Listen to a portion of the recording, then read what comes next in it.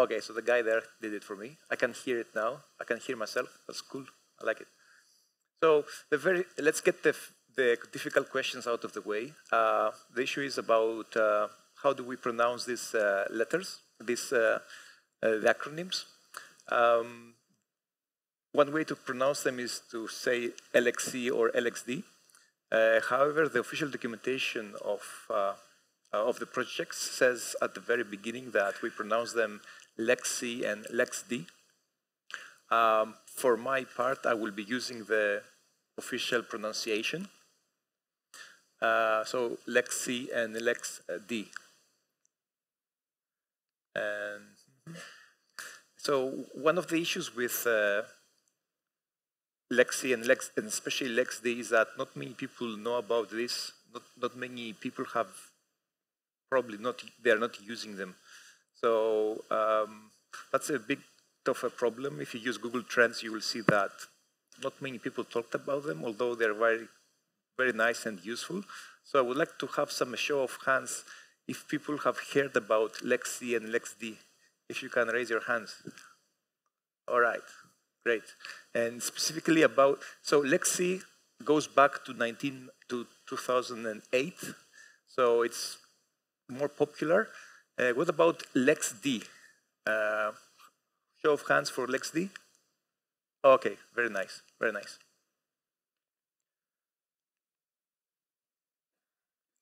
Um, so, uh, what is the what is this thing about LexC and LexD? Um, we more or less we, we, we know we all know about virtual machines, and uh, a virtual machine is just the, the reason we have virtual machines is that we can uh, um, we can virtualize uh, bare metal computers instead of having let's say two, three, four different uh, uh, actual computers. You can use virtualization and you can have all these three, four computers into one box. That's the main benefit of uh, virtualization, and this has been for the last, let's say, 15, 20 years, very, very uh, important one problem with virtualization, with hardware virtualization, is that uh, it takes resources. Uh, it does a very good job with virtualizing the different, uh, let's say, operating systems, but it just, it just takes uh, too many uh, resources uh, from the computer. because the way hardware virtualization works with things like KVM, VMware, VirtualBox, what happens there is that when you boot the system, it, boots up the Linux kernel, and then it uh, starts with the actual uh, operating system. So it takes quite a lot of resources, and you cannot run on the same hardware uh, too many virtual machines. There is a bit of a limit that has to do with processing power and RAM and so on. So uh, what you get with LexC and LexD is that you have something called OS level virtualization. This is different from hardware based virtualization. With OS, OS le, um, level virtualization, what you have is that uh, those containers, uh, they are reusing the running Linux kernel. So that's a very important part. The, the running Linux kernel of the host is being reused for each one of the uh, containers. Um, Linux containers um, Uh, so, so, the way that Linux containers, uh, that Lex, LexC and LexD work is that uh, uh they use, uh, instead of using hardware features of your CPU to work, what they do is they use security features of the Linux kernel. And these, collect, these security features collectively, um, they, are, they are called Linux containers. So, and these features include cgroups, namespaces, and so on. So as soon as all these features, they were being added incrementally, then it was possible to do, um, uh, to have containers, Linux containers uh, over there. And uh, LXC, uh, compared to LexC, LXD, LexD uh, is sort of like a hypervisor, a hyper, hypervisor in the sense that it is able to control for you uh, the containers that you create. So it gives you a, a better, uh, better usability in the sense of how you can create uh, containers, how you manage them, how you manage the life cycle. And this is something very important. If you were to use plain LXC, then you will have to write a lot of commands by yourself, and it makes it a bit, it makes it less uh, usable. And oh, the last point, virtual machines. I sort of repeated there, and the reason why I put it is that uh, uh, there is a development now, a new development in uh, LXD uh, to add support for actually real uh, virtual machines. Uh, apart from having, let's say, these software-based containers, it's possible, there is a plan now in the following months that you will be able to run actual virtual machines through, through LXD from the same interface. So this should be happening, I suppose, in the following months. The first patches, they have been added to uh, LXD, LXD 318.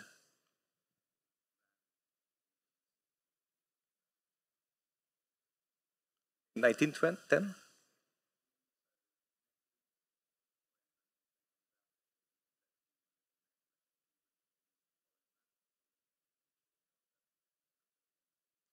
So this will be LXD 319. Excellent, excellent. Uh, if there are any questions, please ask. Uh, there are just a few slides, so if you ask them now, will be excellent. Huh? Thanks. All right. Mm -hmm. So, um, Uh, so how do we compare LXC and LexD to other container technologies like Docker? So uh, when you have uh, Docker, you have uh, what we call application containers, while when you have LXC, LexD, you have system containers. With application containers is that each container that you have, it, it is, a, it virtualizes, let's say, a single application. So that's the, the core part of the container to run this application, and when it's done, it finishes. However, uh, with system containers, what happens there is that uh, uh, you start a container as if you are starting a virtual machine. And that's why these are uh, system containers.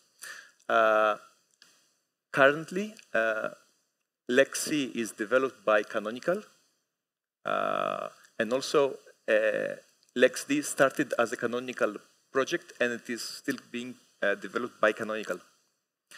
And using LXC or LexD, uh, you, it's possible to run any Linux runtime. Uh, I'm using the term runtime or rootfs, which means that each, each Linux distribution is made up of the, the Linux kernel and also the um, programs, libraries, and so on. So this part of that that does not include the Linux kernel is what we call the runtime or rootfs. So in LXD, you can run any, uh, it is possible to run any Linux distribution apart from Ubuntu, uh, as long as it has been adapted, uh, as, as long as they have created this an image for that. Um, so at the moment, as it is now, LXD can run um, Ubuntu, they can run Debian, CentOS, Fedora, um, Alpine, many, many um, distributions. The last one is Kali Linux, if you know Kali.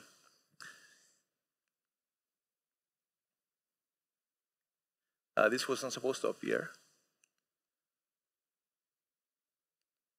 Okay, there was a slide here that will ask you which is the most, the, which is the biggest uh, installation base of uh, LXD and the answer is already there, which is uh, it's uh, in the Chromebooks. Um, if you are uh, in Chromebooks, you can install, uh, there is a feature to get the Linux terminal, to get Linux applications running on the Chromebook. Uh, so the way they implement this is that they're using LXD to implement this. So by virtue of uh, Chromebooks, they sell by the million. Then this actually increased uh, the installation base of LXD quite, by quite a lot. Uh, so yeah, if you have one of the supported Chromebooks, you can use LXD. Um, the way they implement it, just for a technical reference, is that uh, they use a VM. Uh, so you need to have a Chromebook that supports hardware virtual virtualization. It creates a VM. In there, it installs a cut-down version of Debian. And in that version of Debian, they install uh, uh LXD. And by having an understanding of LXD, you can actually use that to create your own containers and do fancy stuff. And people who have Chromebooks, they love this thing. So how do we install uh, LXD? Um, you can use either deb packages or snap packages for Ubuntu. And uh, specifically for Ubuntu, they are uh, this uh, kind of these versions. There is LexD 2 for 1604. Uh, uh, actually, you can see the sequence of the LexD versions and which LTS version is uh, corresponds, which means that if you want to stick to a specific version of LexD, you get this five-year um, um, support. So there will be packages for five years after. Um, so LexD4 will appear in uh, uh, when the new LTS comes up uh, comes about, and uh, apart so these versions there you can see are available as deb packages, but also there is a snap package. Uh, through the snap package, you can install all of these versions as well. And also, if you use the snap package with the, this is snap package terminology, if you use the stable channel, uh, you're getting the very latest version, which is current, currently at 318. Uh, so this is actually the one that we'll be using now. And uh, preferably, it's good to get the snap package, because if you stick to the Debian package, uh, the latest Debian package you get is uh, 3.0 in Ubuntu 18.04. There is this, uh, because it is easier to maintain snap packages, uh, there is this effort to switch to snap packages. And it, and it works just fine.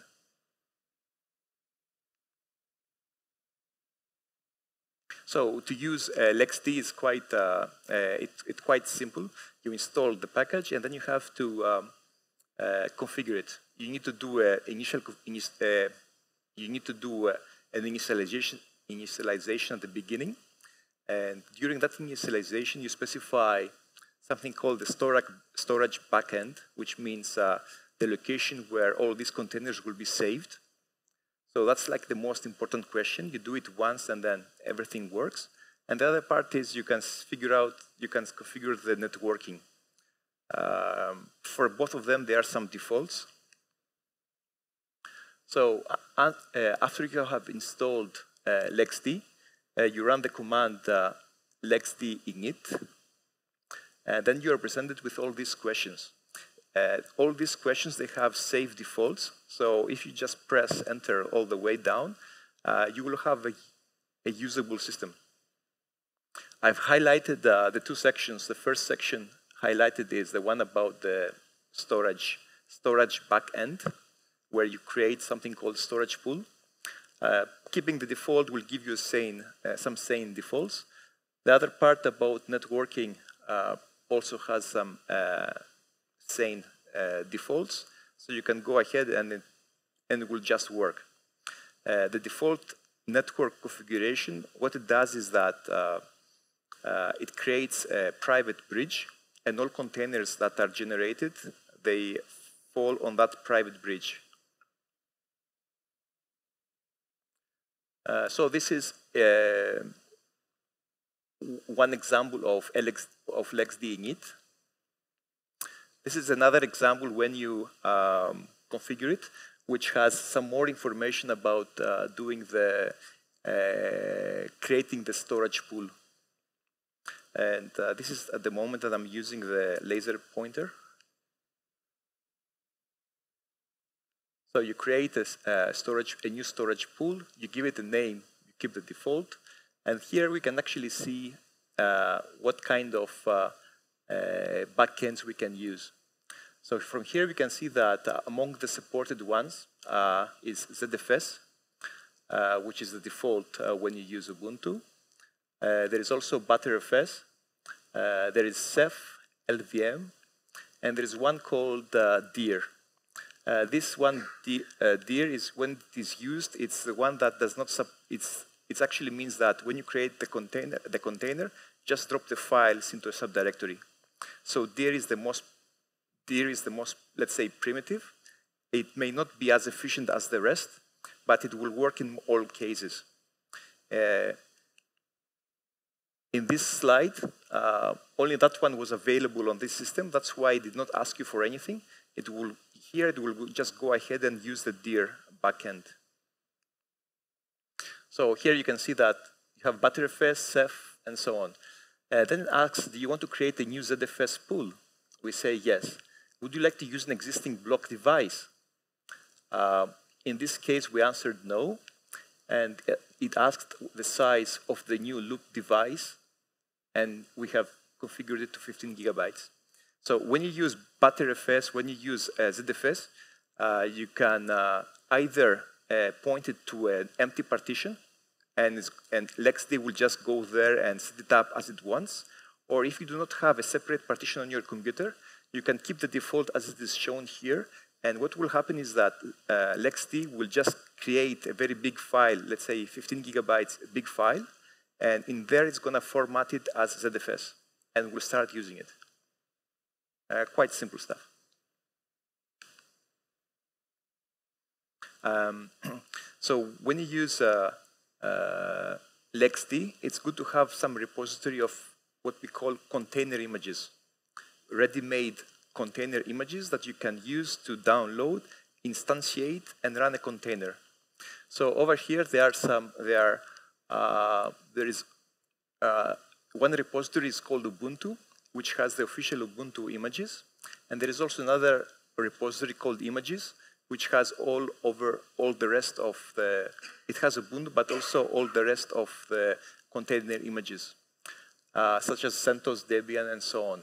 And here are some examples of how to specify uh, the, a container image uh, name. Uh, it's a repository, uh, colon, it's colon, yeah, not semicolon. So a repository name, colon, and then you have the version.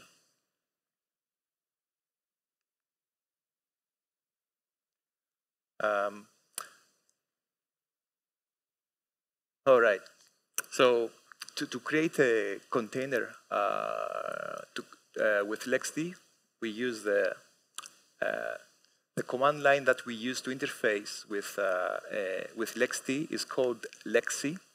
One of the common questions that people have when they are using LXD is that, I mean, why is this lexi? Lexi, it's like it's uh, they're confused with uh, the previous uh, the, the, other project, uh, which is Lexi. This is a a, a decision that was taken early in the development of LXD. So that's, that's the name of the command. So all these commands that you use to interface with LXD, they all start with Lexi. And then after that, you add the, uh, you add the command. Go ahead.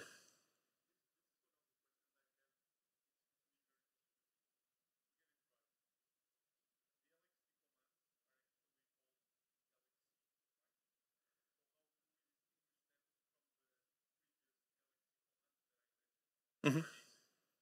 uh, the previous, uh, the Lexi, the previous commands, what they had was that uh, there was no command that was just the letters LXC.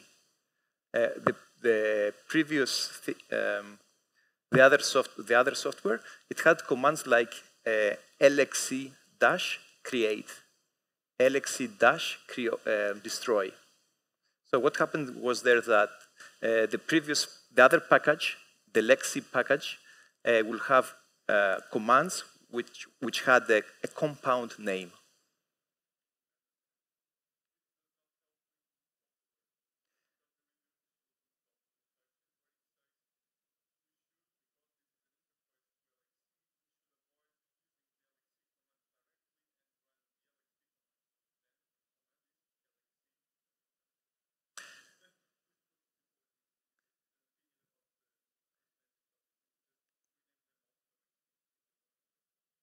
Uh, uh, uh, if you are pedantic, I think they are correct, but it's not very, people can get it wrong. it, the issue is here is that if a person has experience with Lexi from before, then yeah, they will have uh, a bit of a learning curve.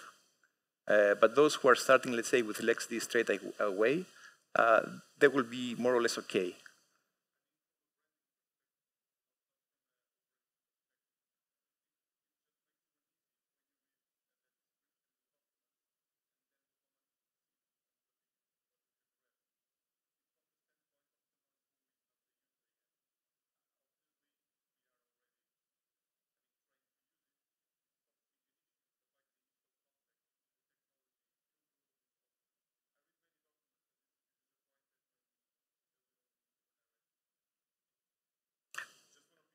I completely understand. What should happen is that uh, there should be some explanation on the documents which say that, uh, which tackles this issue. Uh, I, I, see a lot of people who are talking about it. Um, yeah. Um, actually, let's let's um, try to do this live.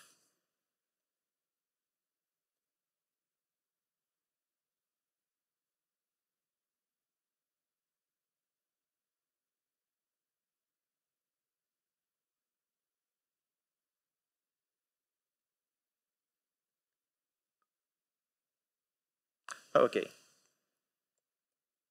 So it's going to be Lexi. Um, so we talked about the repositories.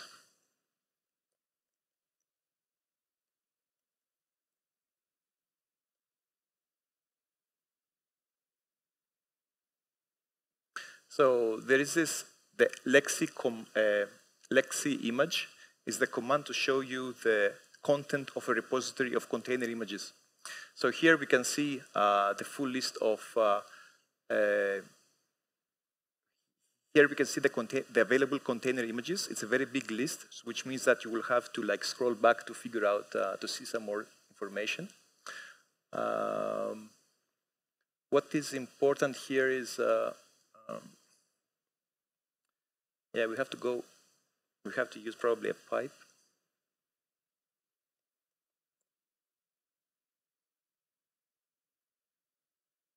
Okay. And uh, this is, uh, uh, let's try to figure out, to figure out uh, where is, uh, here we go. Uh, here it shows Bionic, which is 18.4. And so this is a container image. It shows you the, ah, who can, who knows about this? So this is the new uh, virtual machine container images.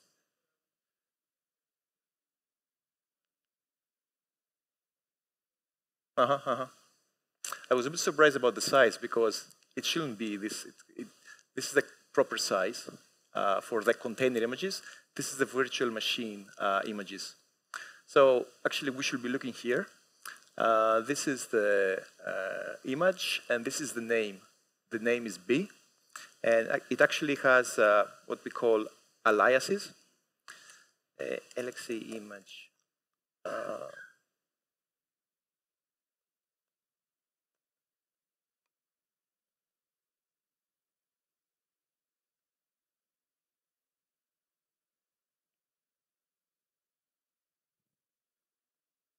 this is uh, some information about the uh, bionic image.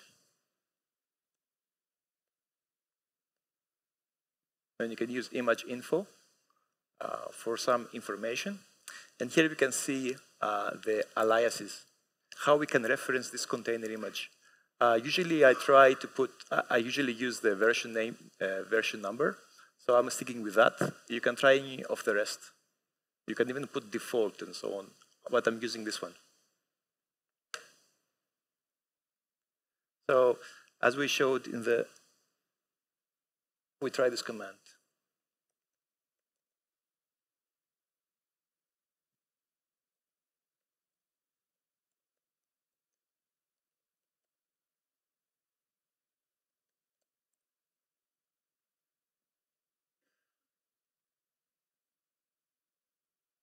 Uh, this is a somewhat old laptop, which takes a bit of time to work.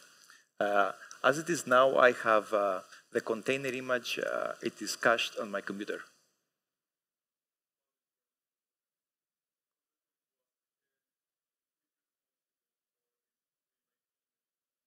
Uh, you want to answer? Canonical is uh, producing these images. Um, so these are managed by Canonical. What they do is they have a special project called uh, distrobuilder.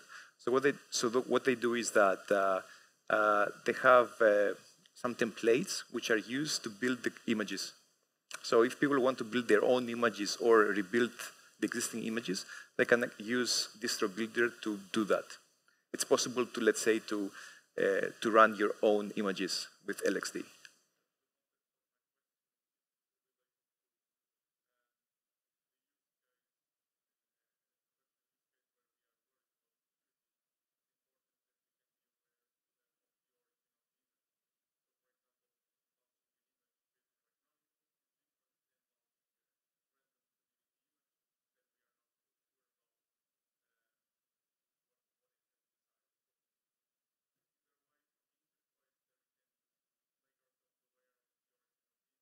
Mm -hmm. The the repository the the two repositories the, the two repositories repositories what we have shown Ubuntu and images these are canonical repositories. So this is compared to Docker where it's not very easy to figure out who has what, but here is just canonical stuff. So it's running.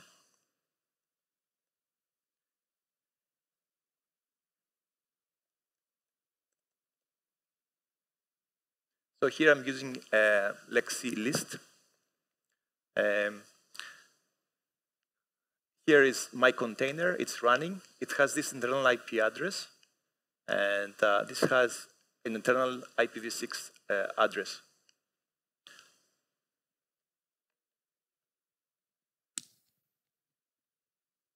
Um, how do we get a shell inside the system container? We use lexi exec, the name of the container, dash dash and the command we want to run inside the container. And uh, yeah, let's do that.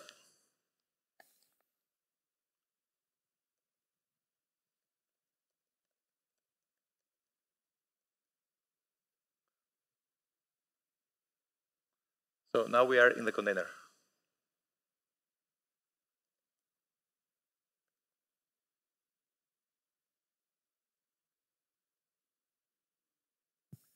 So yeah, all this is inside the container. Um, so um, down there, there is a variation, another variation of the command, uh, which means that when you run the, that variation, uh, you can get, uh, um, you can connect as the non-root user, as Ubuntu, inside the container.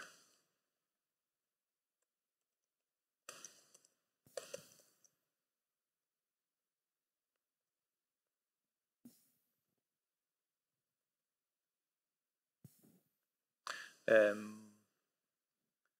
yeah, the, the containers, the container images from the Ubuntu repository, they all come with the non-root account called Ubuntu. So now we are Ubuntu in my container. Um, so th these are containers and uh, okay.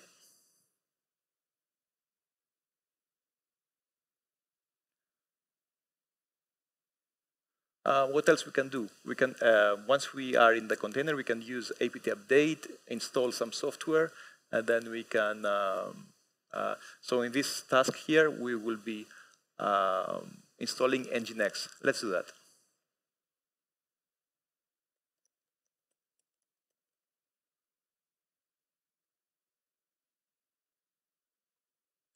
Why do I have to run this?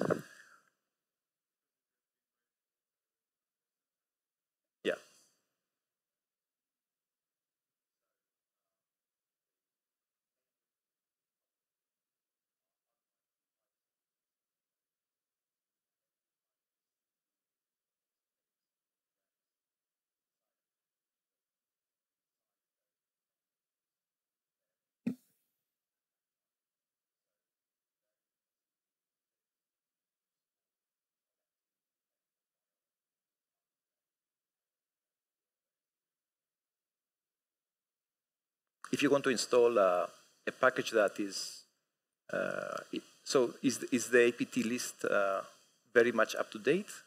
Or you may have like, oh, of course, yeah, yeah.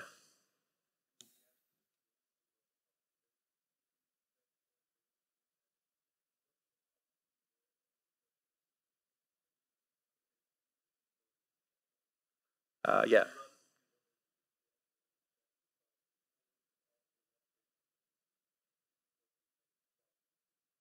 Oh. Mhm. There was a question at the back. Uh, yes. Um, how is the connection to the container by SSH, or uh, how is because if you enable the firewall, will reject uh, reject the connection, or how is working this connection? Okay, so container? Thank you. um, what is the how, how do we connect to the container? Uh, it's a system container. We can connect with SSH. However, we can connect also with uh, uh, the lxc command, and this is how we have connected here. We connect through the lxc command, and this is through the hypervisor that manages all the containers. It's not uh, SSH. It is possible to use SSH, but we have to configure keys and stuff. Um, mhm. So we did this.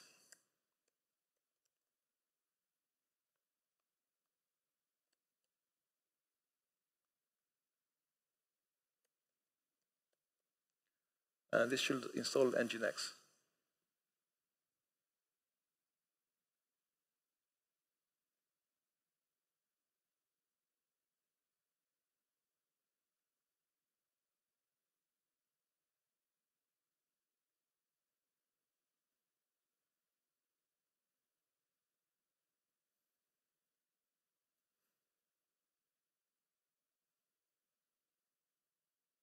Okay, Nginx is running.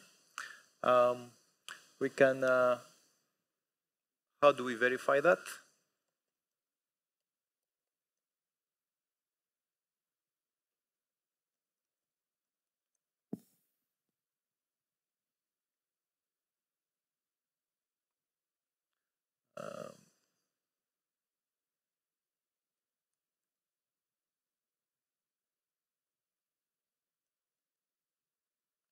So it, it replies, it says something. Five minutes. Okay. Um, let's go into var.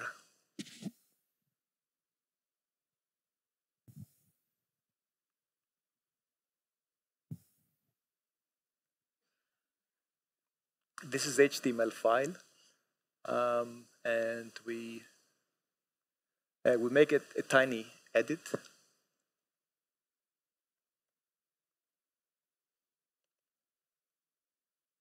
we changed, we made a reference to LXD.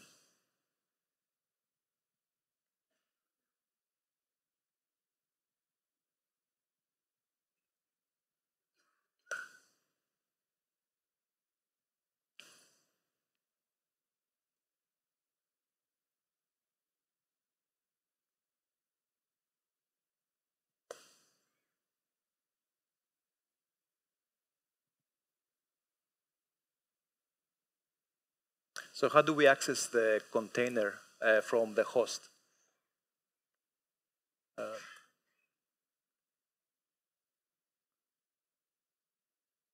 this is the IP address that uh, uh, of the container. We take that IP address, we put it here, and welcome to Nginx on LXD.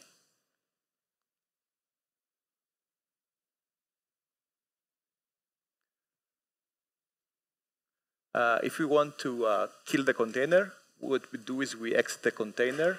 We do lexd lxc stop my container, lxc delete my container, and the container is gone. Very quick and easy. Uh, the, by default, the uh, LXD containers they are unprivileged, which is very good for uh, security. Uh, I think with Docker is not. Um, it's it's it's more complicated. That's very important. Um, with, um, okay, there is an issue with nesting. We can create a Lex, yeah, go ahead.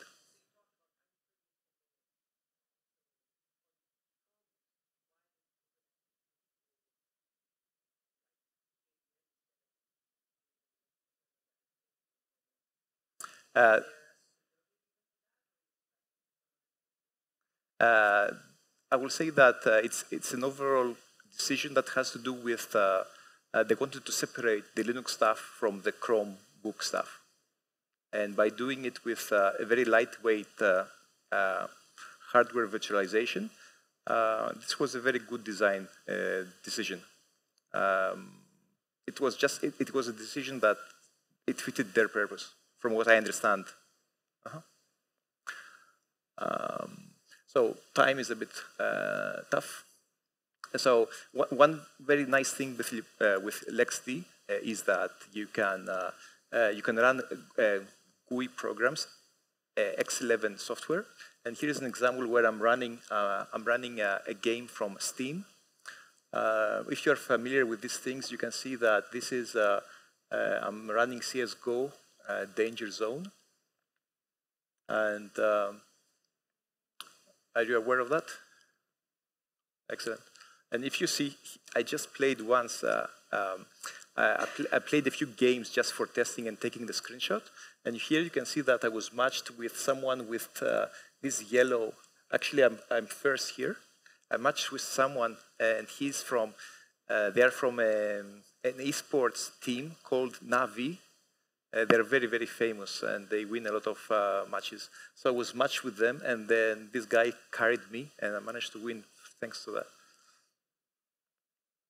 um, with um, you can have container images with older versions of uh, Ubuntu, and there is uh, uh, a container image with Ubuntu 12, 12.04. Uh, so on one hand, you have 12.04, the other, on the other hand, you have GUI containers.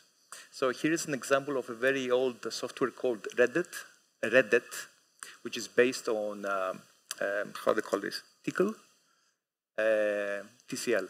So this stuff, they, they do not have packages for newer versions of Ubuntu, and the latest one that works is uh, 12.04. So by using this stuff with uh, LXD, you're able to uh, get this thing running on Ubuntu 12.18.4 uh, as being the host, and the container is Ubuntu 12.04. It's very handy and quick stuff. Uh, okay. Um, you can have something called uh, Mac VLAN where the, if you have two or three containers, they, will, they can show up on your LAN. So you can see them into your uh, local network as individual different computer, uh, computers, but they are containers. Uh, here is an example where we use the Kali container and we use this, uh, here, this is Kismet. We can do wireless scanning, and this, and this thing is runs inside the uh, LXD container for Kali, uh, which means that it takes the, the network device of the USB adapter and it, it takes it from the host and pushes it inside the container. The host cannot see it anymore. It is fully controlled by the container. And that's why it can do all these uh, things. And these things are running inside the container. Uh, here you could add your story, uh, how you use LXD. Um, tomorrow there is a workshop. Um, I want here, so I want to discuss what we can say. I have a list of things we can do. Um, one thing you can do is you can use LXD to cache the Ubuntu 1804 uh, container image, so we don't have to install it all together from the internet. Um, and this is the links of the community. Uh, the main website is linuxcontainers.org. And the support, uh, this, uh, the support forum for LXD is discuss.linuxcontainers.org. Uh, it's very active, and this is the place to go to to get some support for um, uh, for LXD. that's the end. Thanks for your attention. Very, very sure. quick question, please. Thank you very much. Uh, this is really interesting. Uh, I don't like the old style containers or, or the app style containers, but LXD, I think it's very interesting. I'm curious about a couple of things. Uh, one example is, if I understand correctly, each container runs the same kernel as the host system. It reuses the existing exactly. running kernel. So if the if the host system has a kernel vulnerability, um, it will affect all the guest systems, right? Uh, technically, yes. So that means we need to upgrade the kernel on the host system in order to patch the vulnerability on the individual containers. If the, if the vulnerability affects, it's something that can be abused in containers, then yes. Right. Um, this is, this is, you, know about live patch. So this is a container, this is a canonical software. Okay. Uh, live patch, well, live patching is that you can take the Linux kernel with a vulnerability and you can find some special patch software and you can apply it to the, to the running kernel so you do not have to reboot. To uh, this is live patching. This is important for the audience. Please uh, wait five minutes. So the the the, the question the question is uh, that worries me is uh, after you stress tested a certain kernel uh, to a machine which is a host for virtual systems, either containers or, or virtual machines, uh, means that you have a very um, strong relationship of, of, certification between that kernel and that machine. So it worries me. Usually we lock down uh, production virtualization machines and they run the same kernel forever. Because mm -hmm. nobody accesses the machines except, uh, you know, not many people under special circumstances. So it worries me that we have to upgrade the kernel which has been certified and stress tested on the host. I see that the alternative could be running containers inside a virtual machine, but then maybe we lose the performance benefit. I don't know. Can you just briefly comment on this? Um, well, we can take it later. We can discuss about this. Um, I think that for uh, uh, for specific workloads, for specific cases with uh, um, something that the company will use. There, um, I will say that for, for, that one, you will have to discuss with uh, uh, with someone from Canonical uh, to see how to do it. The, th the thing is that it depends on the case of whether some vulnerability is something that actually does affect your running system, or it actually it might not affect it uh, at all. So it depends. It's it's a case. It's a case on case situation. I will say. But if you want to go for more details, you can catch me now, actually, in a bit, and we can discuss it. Thank you. Uh, thank you, everyone, for your attention.